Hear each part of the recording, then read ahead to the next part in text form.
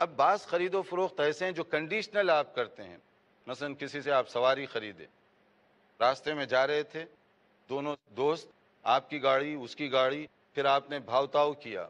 اور اس کے بعد میں آپ نے کہا کہ اچھا ٹھیک ہے، میں واپس جب شہر میں اپنے پہنچ جاؤں گا گاؤں میں، تو یہ گاڑی میں بیچ دوں گا۔ کنڈیشنل خرید و فروخت۔ دے دیے آپ، لیکن چابی اس کو نہیں دیتے۔ وہ کہتے ہیں کہ میرا سفر ابھی باقی ہے، میں تین دن بعد آپ کو چابی دوں گا، وہاں جا کے پہنچنے کے بعد دوں گا۔ تو اس طرح بھی آپ کر سکتے ہیں۔ یعنی اگر دونوں راضی ہیں اس پر، تو وہ اس طرح بھی آپ کر سکتے ہیں۔ کیسے؟ آپ یہاں سے جا رہے ہیں، آپ کو دو دن کے لیے گاڑی کی ضرورت ہے۔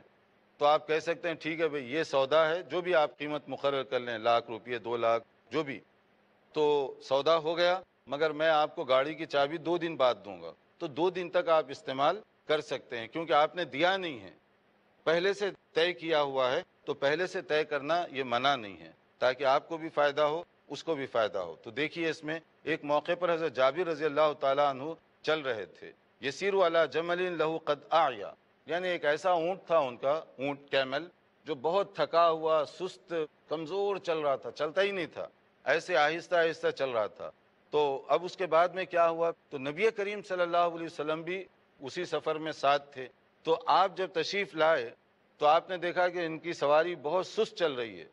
تو آپ نے اس کو ہاتھ لگایا، دعا کی، اللہ تعالیٰ نے دعا قبول کی اور اس کے بعد وہ سواری جو ان کا اونٹ ہے، دوسروں سے تیز چلنے لگ گیا۔ نبی صلی اللہ علیہ وسلم کی دعا کی برکت تھی کہ وہ دوسروں کے مقابلے میں زیادہ فاسٹ ہو گیا۔ تو پھر نبی صلی اللہ علیہ وسلم نے ان سے پوچھا کہ اس کو مجھے بیچ دو۔ تو اس کا مطلب ایک پوائنٹ یہ بھی ہے کہ اگر آپ دینی رہنما ہیں، پیشوا ہیں، تو لوگوں کا مال ویسے ہی مت لو۔ نبی صلی اللہ علیہ وسلم دیکھیے رسول ہیں، نبی ہیں، آپ کا مقام اتنا اونچا ہے، پھر بھی آپ کہتے ہیں کہ مجھے بیچ دو یہ۔ اور بیچنے کے لیے قیمت بھی مقرر کی، مگر وہ صحابی تھے، ان کی تربیت بھی نبی کیے تھے نا، تو انہوں نے کہا نہیں بیچتا۔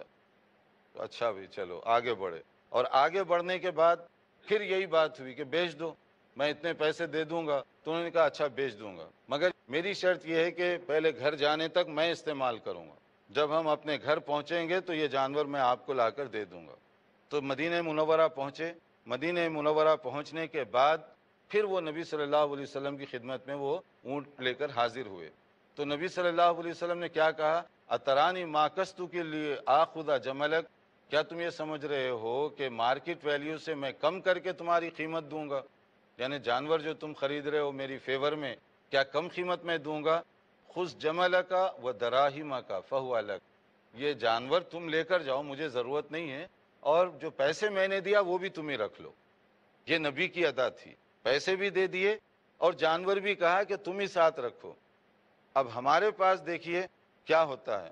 ایک تو اگر کوئی دینی رہنما ہے اور وہ کوئی چیز مانگتا ہے، آگے سے وہ کہے کہ میں اتنے میں دوں گا، تو وہ غصے میں آ جائے گا اچھا میرا اتنا بھی مقام نہیں کہ آپ میرے ساتھ بھاؤ تاؤ کرنے لگے۔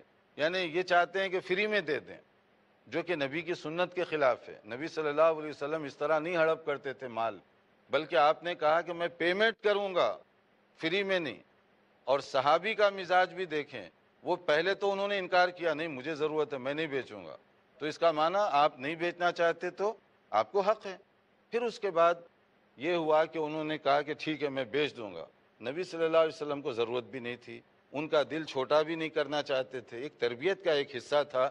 تو نبی صلی اللہ علیہ وسلم نے جو قیمت طے ہوئی تھی، وہ قیمت بھی دے دی اور اونٹ بھی ان کو ہی دے دیا کہ یہ اونٹ تم ہی استعمال کرو، مجھے نہیں چاہیے اور یہ پیسے بھی تم رکھ لو۔